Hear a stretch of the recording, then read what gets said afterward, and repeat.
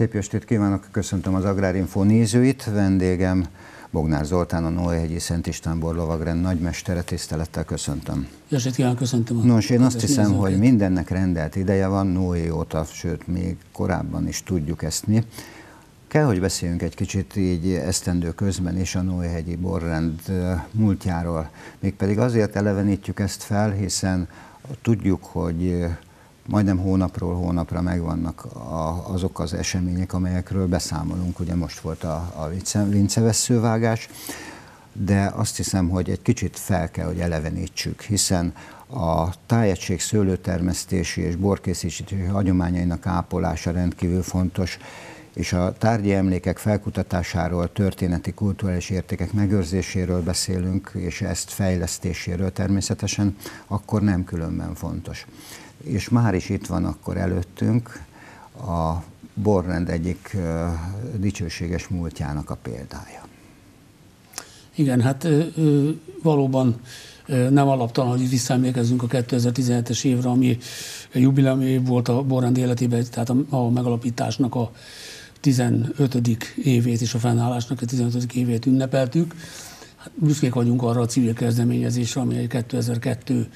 május 18-án a borrend megalapításával kezdődött, és ahogy a szerkesztő úrnak a felvezetésében is benne volt, benne levő két gondolat már a alapszabályunkban is ugye rögzítésre került, hogy a, a szőlő és szőlőtermesztési borkészítési hagyományok ápolása, tárgyi emlékeinek felkutatása, bemutatása.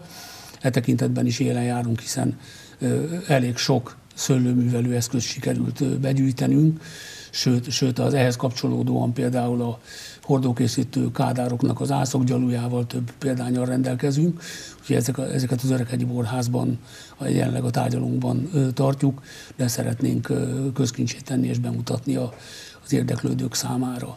Igen, mielőtt folytatjuk, azért a nézők kedvéért is mondom, hogy ott van a végében az a bor, amely propagálja a 15 esztendős évfordulót. Itt van Hunyadi Mátyás, illetve Septimius Severus császár bevonulásának évfordulójára készült, és itt van a Szent István emlékévre készült Nemes Nedű. Azt hiszem, hogy ez nagyon-nagyon fontos. No de én arra utaltam, hogy ugye megjelent egy füzetecske, amit megóvtak a mának, és azt hiszem, hogy ez megint egy fontos lépcső, amikor arról beszélünk, hogy, hogy a múltat igenis őrizni kell. Hát az utókor számára szerencsére fennmaradt a Szőlőegyi Rendszabályok című kiadvány. Ez Vinc József kancellárunknak a tulajdona, meg tudnám mutatni ennek a 135 éves nem tudom, hogy a kamera hogy tudja befogni 135 éves eredeti kiadványnak az eredeti példányát, és a, a kiadásának 135 éves jubileumára, amivel egybeesett a borrendünk említett 15 éves jubileuma, kiadtuk ennek a hasonmás példányát. Egy rendkívül letisztult, nagyon jól megfogalmazott jogszabálygyűjteményről van szó, ami rendelkezik a, a szőlőhegynek a rendjéről, itt a be, belelapos, a főhegymester, a hegymesterek, a kerülőknek a tennivalóiról, általános rendszabályokról, azt gondolom, hogy rendkívül olvasmányos is, és külön értéke az, hogy, hogy mindenféle jogi sűrcsavarás nélkül közérthetően írja le a rendszabályokat mindenki számára. Igen. Nos, igen, ebbe belekapaszkodom, amit az imént mondott, hiszen nagyon fontos a múlt megismerése, és fontos nagyon a kultúrát borfogyasztás népszerűsítése. És amikor arról beszélünk, hogy számtalan rendezvényt tartanak ennek tükrében, azt mondom, hogy nagyon jó úton járnak a Noé hegyiek is. Kétségtelen, hogy a borrendszerváltás óta a borfogyasztási kultúrája meredeken ível fölfelé, köszönhetően a, a borfogyasztó lakosság kíváncsiságának, érdeklődésének, és hát mi magunk is igyekszünk ezért elég sokat tenni. Az Öreghegyen van az Öreghegyi Borház, ahol a borrendünk székhelye található. Öreghegyi, Borhegy, Öreghegyi Borestek sorozatban is nagyon sok rendezvényt tartottunk már, többek között borértőképzés, szomerier szemináriumot, és nagyon sok borestet, ahol találkozhatnak az érdeklődők a Magyarország 22 borvidékről érkező borászaival. A bor marketing, illetve hát ugye tavaly a gasztronómia évében a bor került fókuszba, és azt hiszem Székesfehérvár az élen járt abban, hogy bemutassa a szőlő és borkultúrát, és nem csak itt a szűken vett pátriánkban, hanem ugye országos rendezvény lévén azt hiszem, hogy az külön dicsőség, hogy ismét itt tartotta a Borrendek Országos Szövetsége a találkozóját.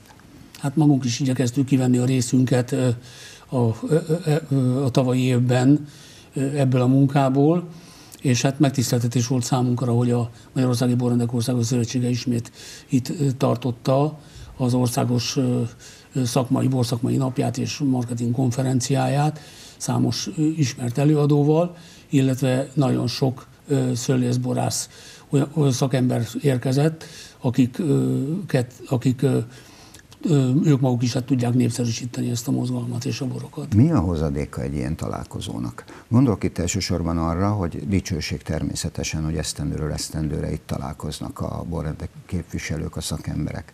A másik old, tehát megtisztelik a Nójegyi Szent István borleg, lovagrendet, a királyi város természetesen, ugyanakkor ez egy, sokkal, ez egy komoly szakmai konferencia is egyben.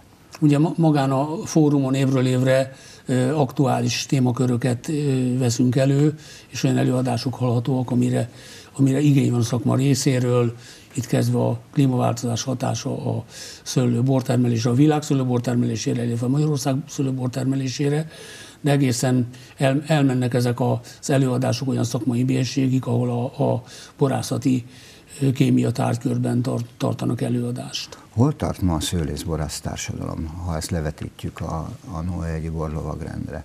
Én azt látom, hogy egyre inkább fejlődik, tehát megvannak már az új technológiai rendek, a másik oldalról pedig most már vannak fiatalok is, ezt egyébként örömmel üdvözöljük, harmadrészt pedig az, hogy változott a kultúrát borfogyasztási szokások is, tehát változtak, egyre inkább beépülnek a gasztronómiába, ez mind-mind eredmény.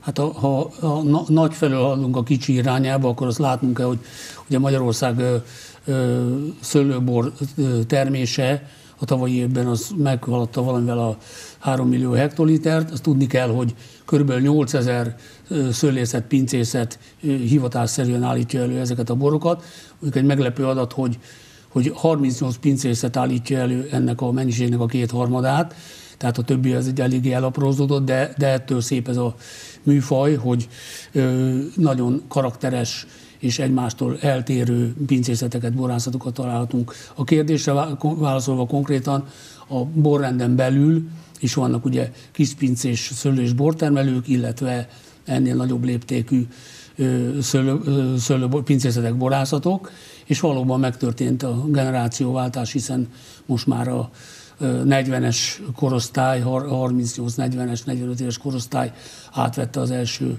generációtól a staféta. Essék szót egy kicsit a bormustrákról. Az emberek oltatlanul is csak egy tudósításból tudják kevés a résztvevő nyilvánvaló, hiszen ez egy szakmai rendezvény. Milyen elsődleges célt szolgál egy bormustra? Ugye a bormustra célja a boroknak a nyílt érzékszervi bírálata és minősítése. Van egy szakértő, szakértő zsűri, aki a bemutatott borokhoz hozzáfűzi az, az éppen aktuális és általa a jobbítás szándékával kinyilvánítandó véleményét. Ugyanakkor a, a jelenlevők bárki, mivel megízlelik a borokat, akik ezen az átkörű rendezvényen ott vannak, bárki hozzászólhat természetesen a, ehhez a, a témához, tehát más borához is. Kezdetben némileg a szigorú ítéletek azok okoztak gondot egy-két gazdának, de ma már belátják, hogy a minőséget sikerült javítani ezáltal. Essék szó az ászlósborról, hiszen a királyi város bora, illetve kísérőbora is zengő. Az ászlósborunk miért? Elevenítsük fel ezt igen, a Igen, igen. Hát elsősorban ugye az első zászlósborunk a két, Hegedűs Mincészet 2000 éves, vagy 2000-es évjáratú nazapizengője volt 2002-ben, minden borrend a tájegységhez, tájegység legjellemzőbb borát igyekszik kiválasztani, de fontos szempont az is, hogy ha esetleg a, azon a környéken van, vagy a megyében, ugye egy esetünkben van négy borrend is, ne essen egybe a fajta, Ez egy különleges karakterű ezerjó búvé keresztezéséből előállított szőlő, ami nagyon jó cukortermő, rendkívül magas gazdag alkoholtartalommal rendelkezik. Kell mondanom, hogy a Nadapi egynek a déli lehetőjén termett szőlőkből készül, ami egy gránit alapzaton van, tehát minerális egyeket visel, ugyanakkor ezer arcú az engő, mert évről évre más és más arcát, karakterét mutatja. A belőle készült boroknak a stílus, vagy a jegyei elsősorban virágos, bodzás és az említett gránit miatt egy minerális jegyekkel rendelkezik. Nos, azt tudjuk minnyáján, hogy a szintentartás nem elég, a borászatban sem, a borlovagrend szakmai tevékenységében sem. Mit tud tenni ön nagymesterként, illetve a nagy tanács azért, hogy esztendőről esztendőre fejlődhessenek? Hát ugye vannak az állandó éves szakmai és közönségrendezvényeink, amiről már beszéltünk. 2017-ben olyan elképzeléseink vannak, amik az előrelépés szolgálják. Ez elsősorban a tagság részbeni fiatalítása, olyan személyek bevonása a borrendben, akik a presztízsét még növelhetik ennek a, az egyesületnek. Ezen túlmenően, ugye mindig hangsúlyozunk az öreghegyi tradíciókat, ugyanakkor fogyó számban vannak szőlőtőkék és pincék az öreghegyen, egyrészt ezeket valami kezelhető kataszterbe kéne tennünk, és bevonni a, tulajdonosokat a borrendnek a munkájában. Ezen túlmenően beszéltem itt ugye a fogyó, fogyótőke számról, tervezzük azt, hogy, hogy az Öreghegyen egy rezisztens, kiválasztandó rezisztens szőlőfajtából minden öreghegyi háznál legyen egy tőke és ezzel e, tudjuk demonstrálni azt, hogy e, nagymúltú e, szőlő és bortermelő környék van. Ezen kívül e, szeretnénk e, egy ilyen öreghegyi szület rendezvényel még itt gazdagítani a egyébként színes öreghegyi kulturális kínálatot. Remek gondolat, február 17-e. Azt hiszem, ez esztendőről esztendőre az egyik legfontosabb borest, hiszen a borest ez a találkozó általában a Szent István Művelődési Házban, ebben az esztendőben is megmozgatja nem csak a borász társadalmat, hanem jószerivel mindenkit, aki a nemesnedű kedvelője.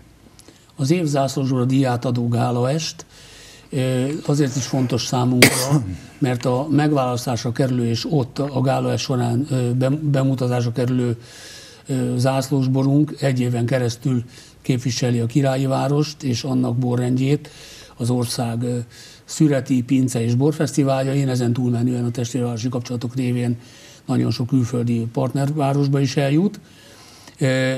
Egy nagyon, a farsangi szezonban egy nagyon elegáns és, és várt társasági esemény, 200 fős létszámmal, most már örömmel mondom, hogy be is tellett ez a létszám. Idén váltottunk, és a Magyar Király Kupola termébe kerül ez a rendezvény. Igen, ezt, ezt hibáztam el, akkor már is magam. Úgyhogy rendkívül színvonalas rendezvény, és hát lehetőséget kínálunk a Borlovag rend hat pincészeténekből 12 prémium borválogatás megkóstolására is. És ráadásul természetesen az Országos Szövetség prominens személyisége is megtisztelik ezt az eseményt. De mi magunk is ott leszünk, úgyhogy beszámoló készül róla, és köszönöm szépen, hogy megtisztelt. Én azt hiszem, hogy jó úton jár a Nójhegyi Szent István lovagrend, hogy bebizonyítsa, hogy igenis nagy szükség van fönt a Nójhegyen, és itt Székesfehérváron, illetve az agglomerációs övezetben is egy ilyen szakmai szervezetre. Köszönöm szépen. Én is köszönöm. Kedves nézőink, folytatódik az Agrárinfo. Az elmúlt két hétben megint csak nagy sikerű szakmai rendezvények zajlottak Magyarországon. A Quintessence Pálinka fesztivál is megtörtént, és az Agárdi Pálinka főzébe látogattunk el, nézzük meg ezt a bejátszást. Lila Füred megint teljes sikert hozott az Agárdi Pálinka főzdő, főzde Kft-nek. Én azt gondolom, hogy ez már egy megszokott siker, ugyanakkor jó erről beszélni, hiszen 16 aranyérem az mégis önmagáért beszél, és ilyenkor eszünkbe jut három jelző. Az egyik oldalról az innováció, a kreativitás és a tehetség nyilvánvaló, hiszen ebből jöhet össze ez a fantasztikus siker. De mi mindent kell tenni a hétköznapokon azért, hogy egy ilyen országos megmérettetésen ilyen sikert érjen el a csapat? Hát a siker azért nem megszokható, az ember mindig örül minden egyes eh, kis sikernek is. A legnagyobb siker természetesen az, hogyha a fogyasztó is értékeli azokat a, a minőségeket, amiket mi eh, előállítunk. Eh, ezt úgy lehet elérni, hogy folyamatosan azon dolgozunk, hogy a lehető legjobb minőségű gyümölcsöt tudjuk megvásárolni, és évjáratnak megfelelően azokat az értékeket, amelyek a gyümölcs magába hordoz, átmentjük palackba. Tehát a gyümölcs az alap mindenképpen. Ehhez viszont fontos, hogy tisztában legyen a főző, mester, hogy melyik gyümölcsöt érdemes termeszteni, mert korán sem mindegy a fajta. Ez így van. Mi azért a helyi termelőkre, illetve itt a Velencei tó környékén található gyümölcstermesztő gazdaságokra támaszkodunk elsősorban, hogyha itt meg tudjuk vásárolni azt a gyümölcsfaj, gyümölcsfajtát, és abban a minőségben, amit, mi elvárunk, akkor természetesen tőlük vásárolunk. De hát vannak olyan gyümölcsfajták és fajok, amelyek itt a környéken nem terelnek meg, akkor megkeressük annak a hazáját itt Magyarországon belül, és az, azzal a termelővel, aki tudja mi általunk támasztott feltételeket biztos, biztosítani, azzal megállapodunk és tőle vásároljuk a gyümölcsöt. Maga az a tény, hogy 1318 pontosan minta érkezett erre a versenyre, és 8-9 országból jelentkeztek, már bizonyítja, hogy ez egy rangos megmérettetés. Hol tart ennek tükrében a pálinkafőzés Európában, illetve Magyarországon?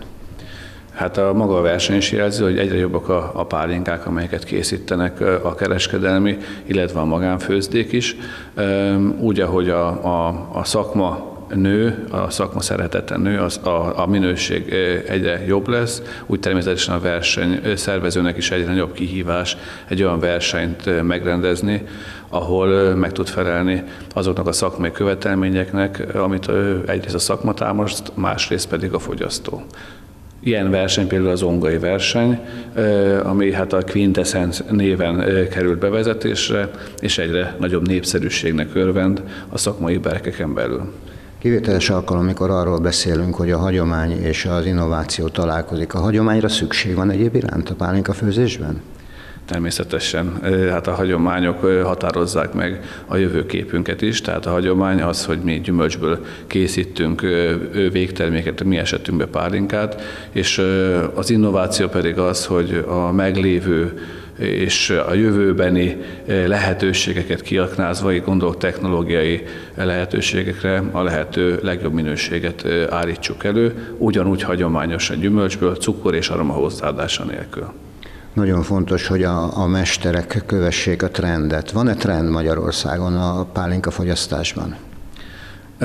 Ilyen szempontból a, a magyar fogyasztó egy kicsit konzervatív, szereti a hagyományos ízeket, illatokat, hagyományos gyümölcsöket, a legjobban eladható és, keres, és a legjobban keresett termék az maga a kajszivarack, de ezen kívül a szilva, a szőlő, mi esetünkben a cigány megy, az élelt szilva, végül is nagyon nagy a, a repertoár, de olyan 6-8 gyümölcsfaj, ami, ami a legnagyobb forgalmat tudja generálni. Hogyan lehet új termékeket, új ízeket megszerettetni a fogyasztókkal? Hát vannak olyan fogyasztók, akik keresik a különlegességeket, és akkor mi is próbálkozunk, próbálkozunk olyan új, inkább vadgyümölcsök, kuriózumokkal, amelyek esetleg felkelthetik az érdeklődését a fogyasztónak, van, amikor hajótörést szenvedünk, úgy gondoljuk, hogy esetleg bejön, és van, amikor pedig bejön egy olyan termék, ami, ami ö, sikertörténet lesz. Ilyen volt például nálunk a piros filmos körtéből készült pálinka, ami hát régebben nem volt azért annyira magától értetődő. A gasztronómiai kultúra kiemelt része a pálinka fogyasztás nyilvánvaló megfelelő keretek között. Ennek tükrében hol tart ma a magyar gasztronómia? A fogyasztók egyre igényesebbek, így a gasztronómia is folyamatosan keresi az új utakat, az új megoldásokat. A pálinkákba, a pálinka választékba, borválasztékba, és ugyanúgy az ételválasztékba is egyre bővülnek a kínálatok, egyre újabb igények jelennek meg. Kezdjük előről ezt a mondatot? Igen. Elment? Ja, bocsánat. Jó. Akkor be tudjátok vágni. Tehát a fogyasztó egyre igényesebb, nem csak a pálinka terén, a borok terén, hanem magában a, a, a gasztronómiában is, és mi kar, karöltve a gasztronómiával próbálunk megfelelni azoknak az elvárásoknak, amelyeket a fogyasztók állítanak velünk szembe. Ennek tükrében a mennyiség vagy a minőség a fontos, illetve ez a kettő kézen fogva jár? Nekünk mindig is, a cég megalapítása óta, és ennek már idén 16 éve, mindig is a minőség volt a, a meghatározó. Nem mentünk bele soha semmilyen fél megoldásokba, csak egész megoldásokat kerestünk és találtunk. Én úgy gondolom, hogy a minőség iránti törekvés meghozza az eredményét, és ezt mutatják a mi forgalmi adataink is, és az is, hogy még mindig, és remélem folyamatosan kedvelt lesz az agári pálinka a fogyasztók körében. Nyilvánvaló, hogy a siker kötelez, és hát fejlődésre sarkal. A hogyan továbbról kérdeznélek? 2018 egy új, új évjárat, meglátjuk, mit fog hozni maga a természet, milyenek lesznek a gyümölcsök. Mi megpróbáljuk az évjáratnak megfelelően a lehető legjobb minőséget kihozni a gyümölcsökből, és ezzel a fogyasztóinkat meglepni hogyan lehet a fogyasztókat továbbra is bizalmi, ugye ez bizalmi kérdés valljuk meg, arra sarkalni, hogy egyre többet és többet fogyasszanak, illetve a minőséget válasszák. Ez csak postoltatások útján lehetséges. Ez azt jelenti, hogy, hogy ide hozzánk a gárdra is ki lehet jönni. Van egy látogatócentrumunk, ahol akár gasztronómiailag is el tudjuk kényeztetni az ide érkezőket, de, de ugyanúgy ide jöhetnek, megnézhetik, hogy hogy készül a pálinka, hogy dolgozunk mi így megismertetjük velük magát a pálinka készítést, és így sokkal jobban fognak kötődni magához a márkához is, és sokkal jobban fogják ismerni, hogy mi az, amit meg kell ismerni, meg kell érezni, amikor az ember pálinkát fogyaszt. Arra semmiképpen nem sarkolok senkit, hogy mint többet fogyasszon, inkább arra, hogy tudatosan fogyasszon. Olyan termékeket vegyen le, válasszon a polcokról, amelyek megfelelő minőséggel bírnak. Sajnos a fogyasztó nagyon sokszor bele találkozhat olyan termékekkel, amelyek nem megfelelő minőségi kategóriát képviselnek, tehát én inkább a tudatos fogyasztásra sarkalom a fogyasztóinkat. Kedves nézőink, köszönöm megtisztelő figyelmüket, találkozunk a jövő héten ugyanebben az időpontban, ugyanitt, viszontlátásra.